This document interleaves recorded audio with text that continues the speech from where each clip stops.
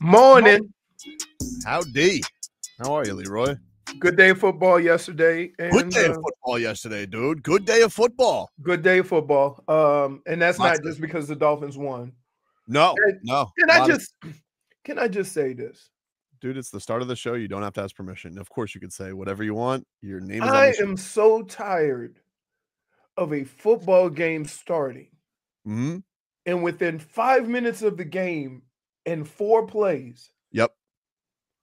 the text chat that I'm on. See, they suck. They got to fire. I'm like, they've been playing you get out of football for, they've Why been playing football for three minutes. Why don't you get out of this chat? You are in a, if you I are in a get very out- negative chat. If I get out, then I'm then I miss the uh the um the golf interactions where we So figure mute out who's playing. So mute. I don't know. Last time I muted it, I lost it. Oh, So I had to do a whole nother. So the I'm- old aren't very it's- it's it, dude, it's excruciating. Right. And and like Was I'm it the like- Tua fumble? Was that the the thing that got everybody crazy? Like what? no, no. that's like- I'm trying to think like no, what wait. was. Look, wait, wait, wait. It it it's it's unbelievable. I'm trying to think of of all, what was the early negative play that would have gotten him. Wait, He's looking. He's I'm looking. looking. Dr. Toboggan says there's the Eichenberg Bowl. I know. Who knew there was another Eichenberg out there? Another Eichenberg. Apparently, the Eichenbergs took over the stadium. Eichenbergs Oh. galore, dude. Yeah, but two negatives to make a positive, so it was good. It was good. Apparently, uh, this is uh, uh, uh, Liam Eichenberg has learned under the tutelage of Christian Wilkins after all those years of Christian Wilkins abusing him in, in practice because apparently uh, Liam Eichenberg, what he's good at now is really annoying his opponents. Oh, so he's he's offensive Christian Wilkins. Apparently so. This is two weeks in a row. He's he's gotten he's gotten his opponents to do something stupid to him. All right, you ready? Credit where credit's due. All right. Here's how it starts. Right? 12 15. If Crosby leaves two alone, we win. That was the first text. Okay. I replied, that's why you need a guy like Ingold, Mhm. right? Because he does a lot of that. Yep, and yep. stuff like that. Right? Reply. Uh Durham Smythe. What? Or no, that's who's supposed to replace him. We just spitballing Oh, here. just right? spitball. He won't. Now, first drive. Ready? Yep. Nine minute drive. Nice. No penalties. Was a nice drive. Right? Somebody talking about tailgate. Here we go. And here's where it starts. The next drive. So Their receivers couldn't be more wide open over and over. Wow. That Bowers was somebody, wait, somebody, and then somebody replies as we move into the action later in the second quarter. Wait, and look, so we all are playing defense against this guy's aggressive negative offense. Yet they have three points, Yep. and yet Miami is winning. so Seems like, okay right now. wait, it doesn't seem too wait, negative. no, no, they're making Gardner look like Brady. Well, that's that's a bit strong. And so wait, you're watching the same 10-3 game? then get off the field on third down. That's like, The very long drives. I, I don't remember a football game like that where there was like four drives for a half. That you was kn- crazy. You know, you know why? Because everybody was just look, when you play the Dolphins, you know you're gonna get some type of cover two, and they're gonna deny the deep part of the field. Yep. And what defenses do, and, and this is um what cover two is. And and and you can Antonio Pierce has played in this.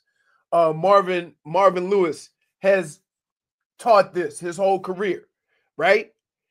If the offense runs more than X amount of plays, I think it's nine to 10 plays, they're gonna screw up the drive.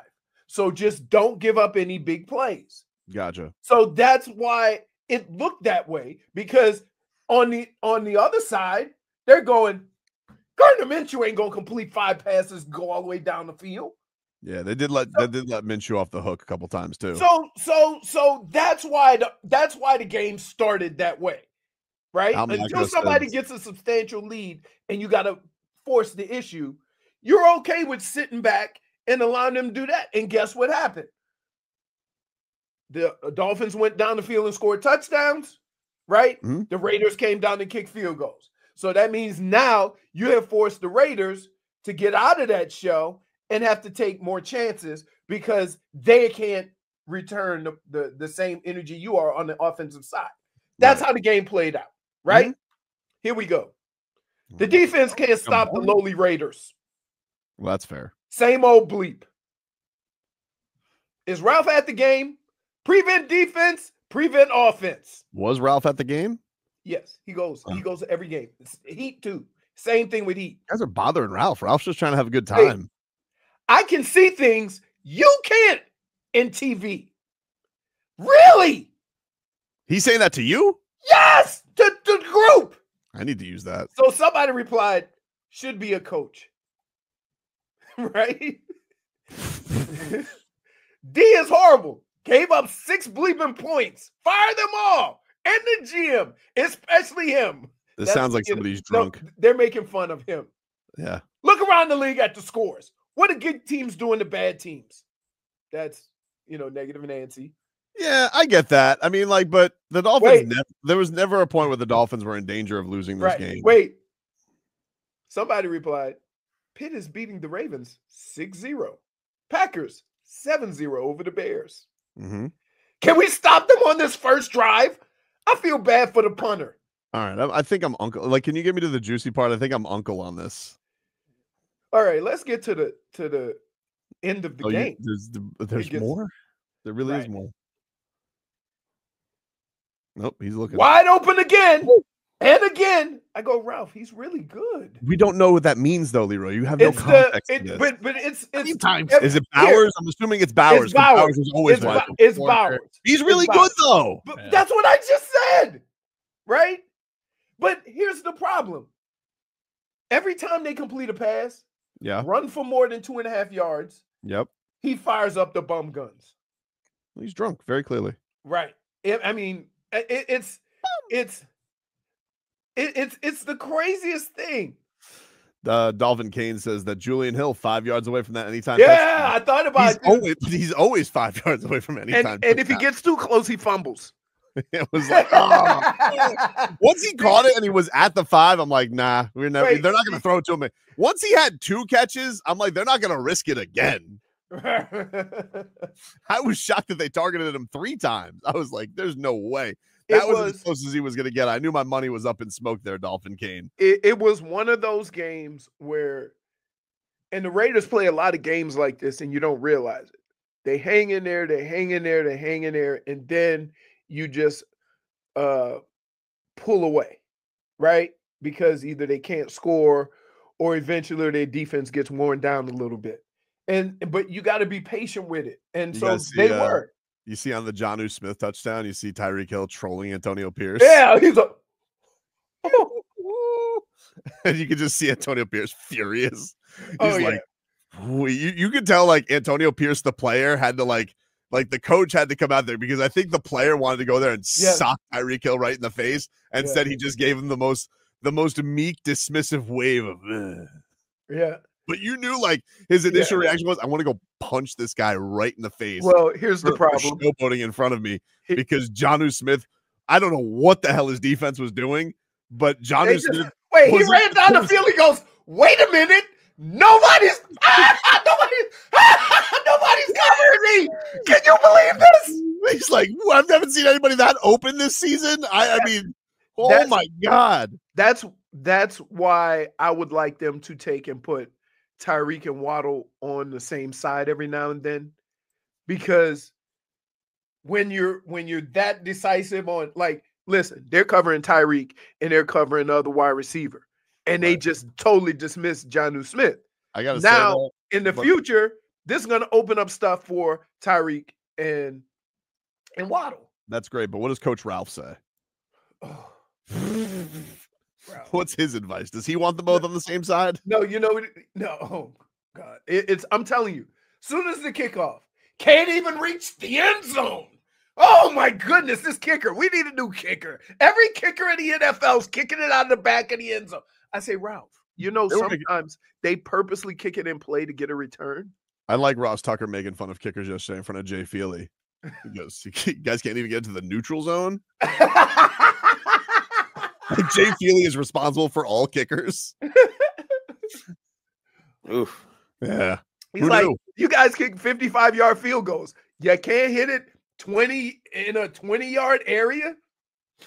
It was crazy. It was crazy. But yeah, man, look, did what they had to do yesterday. The Dolphins, Yeah. uh, they they did that zero punts. So the uh the uh, That the- was the- crazy, right? yeah, But but it here's it's funny because when you think of this offense and you think of the high power um offense that it can be. You know, this offense was designed to do stuff like this. Like to be explosive while methodically moving the ball down the field. If you watch Mhm. San Francisco, that they do very similar things. And then what ends up happening is you look you look at all the numbers at the end of the game and you go, whoo, wow. Not yesterday. Yeah, not yesterday. couple Tua of- finished. Couple of upsets. Any any any uh any ones like really surprised you? Uh, I was a little surprised how much the Chargers jumped on Cincinnati. Then Cincinnati comes back and J.K. Dobbins had that sick ass run to. So you had a thriller there. Can't say I'm surprised Buffalo beat uh Kansas City. Yeah. You know, It's almost like, you know what? Kansas City almost had like the same kind of season as the Canes. Like they haven't really been playing great offensively. Mhm. You got that guy, and so nobody really worries about it. But in the back of your mind, you're thinking, you know, if they keep playing like this, it's gonna bite them in the ass. right. And and that's what happened. Um, yeah, I'm trying to think. Like, what was my? I gotta say, I mean, the Broncos throttling the Falcons as bad they did. That that was a little like whoa, because Yeah. that was an important game for them. Obviously, Yep. you know, I, they're uh, they're, they're kind of hold. They're they're they're trying to. They got people nipping at the heels, and then I mean, look.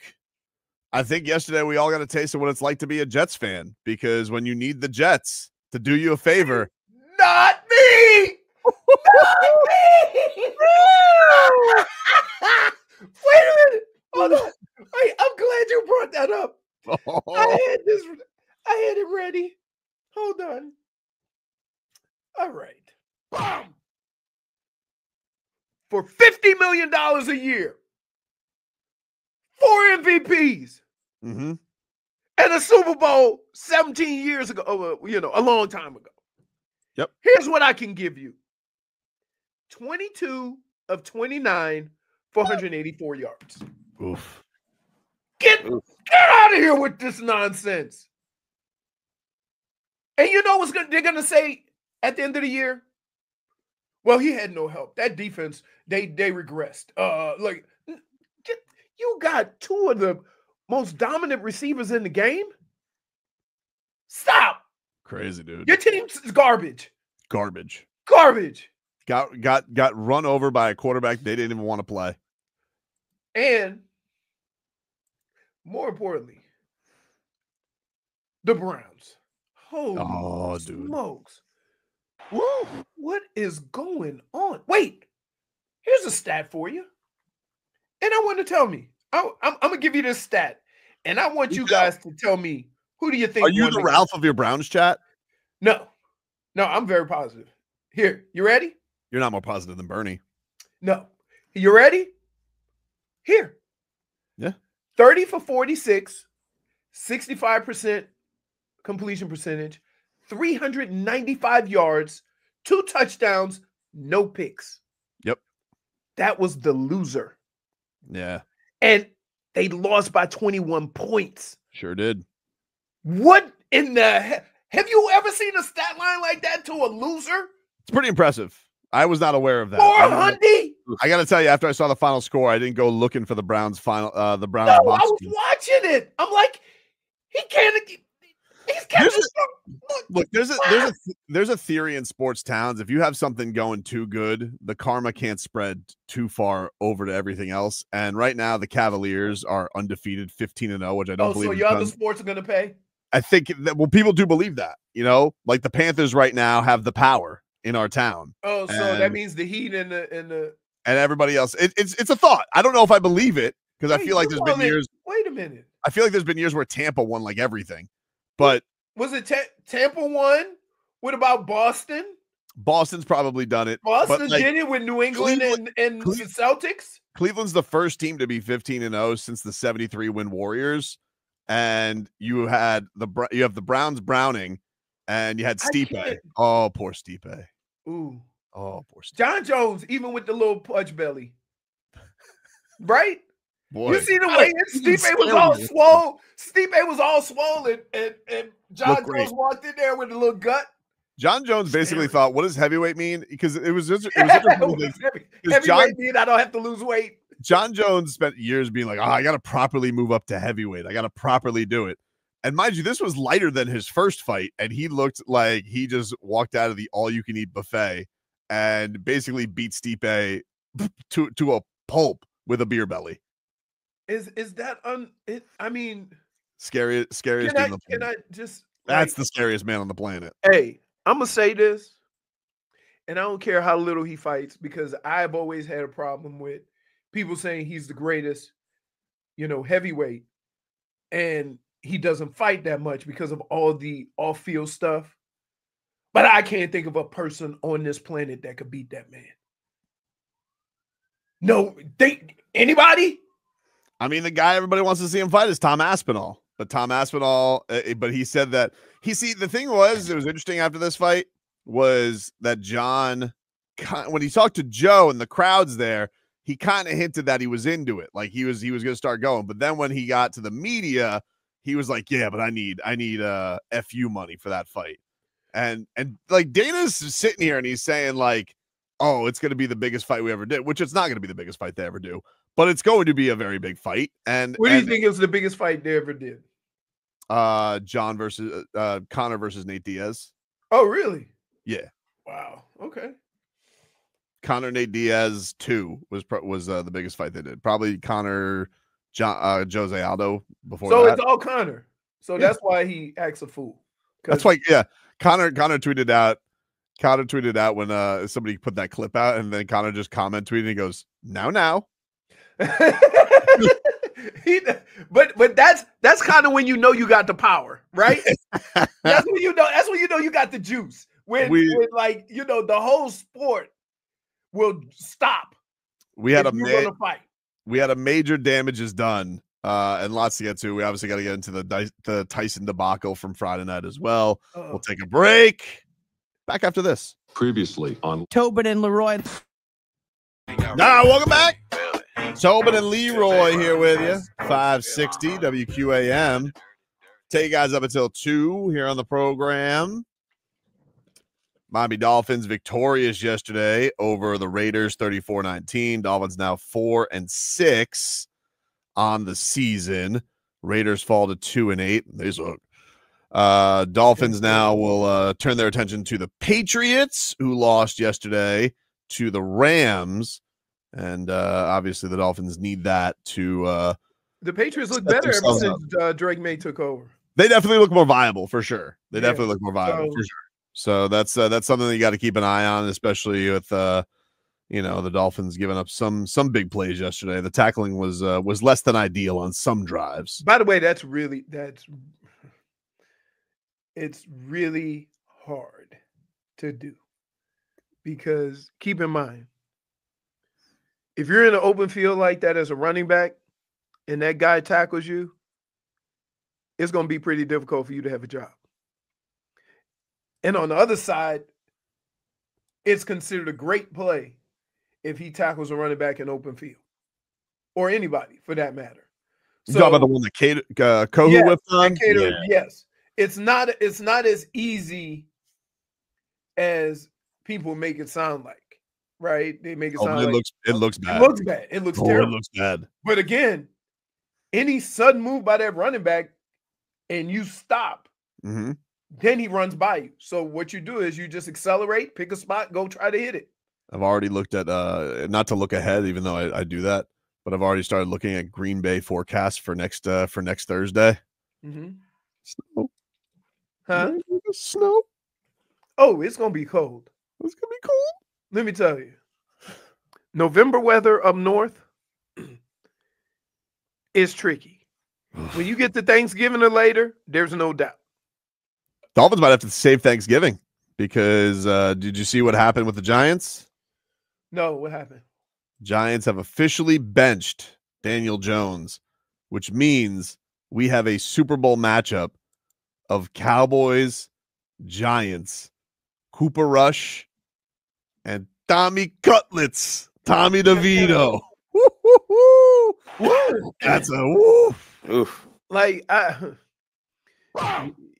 you What are we supposed to do? Talk to our families? you, you know what you know what else they should do? Hmm? They should fire the guy who ever decided to let Saquon Barkley go because that would help Daniel Jones. Oh, he's getting fired. oh, Oh, that guy's getting fired. Hey, you're like, dude, dude, he's getting fired. Oh, he's getting fired. That's the, there's no doubt about that. And he, I- I love the way was it the owner that came in and uh, Hard Knocks said, "You really want to get rid of Saquon? I really like him." I hate to see him in another, especially a division rivals jersey. Ah, don't worry about it, boss. Don't See, worry about it. It's that thinking about running backs right there that's going to get a bunch of people in the league fired Mhm. because a running back is almost as important as offensive line as far as protecting your quarterback, keeping the defense honest. If you can't run the football and the defensive line can tee off on your quarterback, that makes things much more difficult for their success. Kind of feels like uh McDaniel's rats off a ship on Mostert, huh? Kind of feels It's a that way. Uh, yeah, They- it, it kind of it it does kind of look like he's uh Not enough. streets need a body, and we found out who the who the body was. Well, he very clearly got he he did very clearly was getting punished on Monday Night Football, but even He in didn't this have no carries, right? no carries, and then in this one he didn't have any targets, and he had three carries for negative two yards. Yeah, he did. Did he have a what do they say? Did he have a hip injury? A hip But injury. he was fine. He was on the sidelines. Yeah, he looked then- normal. Then He went have- back. He went back in after that. Did he? Yes. Yeah. I thought after they said it, they did. showed him on the sidelines. No, they said normal. Mostert. No, he went back in. Okay, But this I is where it's apologize. I thought that he was fine. they said hip injury, and then he's returning kicks. And I'm like, well, I mean, No, that's what I'm saying. He went back in and he mm-hmm. played offense too. Oh, oh, oh, oh, I thought you meant he went back into the locker room. no, no, no, no, no. I was They very just said- confused. they just put it on the, on TV that questionable return, and and then he was back in the game. Yeah, So I don't know. Probably ought to put them hip pads on, fella. jeez. I don't know. Like it, you can do that when you have a lot of talent at the position. hmm Some teams don't have that luxury, For sure. right? So I mean, Achane's playing well. And the other thing is, is that with all the different ways you can give Achane the ball, it kind of makes him more important in that role anyway. So, um, yeah, I'm I'm still look. What did I tell you guys? I'm not a fan of that outside run stuff, the sweep. They're like those guys on defense are too fast, man. You very, very rarely outflank the defense unless you're New Orleans Saints and you let big fat ass Taysom Hill just go down the sideline, which is amazing. That right there was unbelievable that you You- let Taysom Hill run down the sidelines. I'm gonna be honest with you. You you reference this Browns team too much. Like Oh, it's over, dude. There's two games I gotta watch. You know, there's two, games, Like, there's two games I have to I have to watch every week. You don't really have to watch their games anymore, dude. Let's start start here's what you need to start doing. Give them reports on Cam Ward. That's what you need to start doing. Give them reports on Shedeur Yeah. Sanders. but but ah, man, I don't know. It- it's South crazy. says uh Achane ditched the Guardian cap. So I get so his mom probably lifted the suspension. She goes, Okay, it's been a month. It's probably what it was. Um, but yeah, man. They, they took care of, uh, they took care of business yesterday, man. They took care of business. They care took of care business. of Little business. Game. They took care of business. They um Had to, had to keep for, pace. for for from the perspective of playing offense, hmm they played really good offensive football. Maybe not the numbers everybody would like, but to be able to be that consistent, that methodical on a number of occasions and never have a punt, then you're playing good offensive football, even though you don't score, you know, a boatload of points. So John Smith, who's uh, I mean, just had a really, really good season. Yeah. He uh this was him after the game. He says on Tua, best QB in the world, man.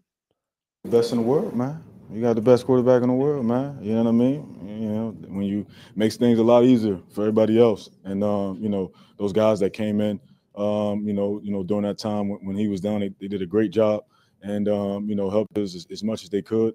Um, and uh, you know, showed a lot of grit and, and a lot of selfless, selflessness. And you know, we're happy to have those guys, man. And um, you know, but you know, one's who he is for a reason. So um, you know, we just excited to have him back and excited to get back to, to, to where we need to be. Pause up, dude. Hey, notice Hmm? he didn't want to throw the other guys on the bus that were playing quarterback when Tua wasn't. Yeah, they know though. We all know, dude. We don't have to say it. We know. We've seen hey, him. I'm glad to see they using the hell out of John Jonnu Smith. Like, Yeah. and, and and the defense looks damn near shocked. hmm Like, No, he's been a monster, dude. He's been a monster. He's been great.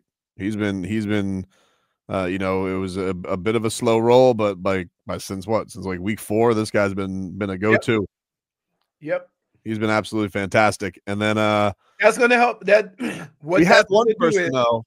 We have one person though who has to answer for their crimes. That person's name is Antonio Pierce because he called for Tua to retire.